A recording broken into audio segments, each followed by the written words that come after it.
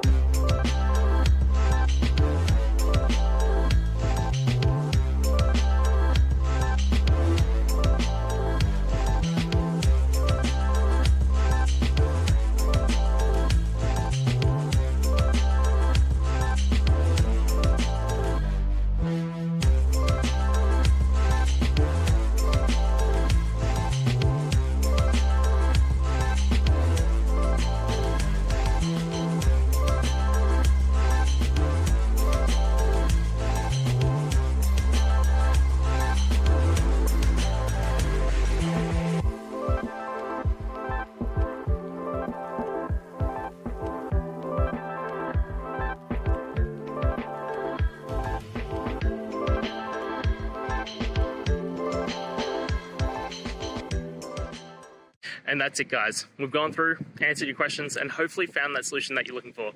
If we did, please hit subscribe. I'd really appreciate it. And until the next time you need technical help, I hope you have a good one.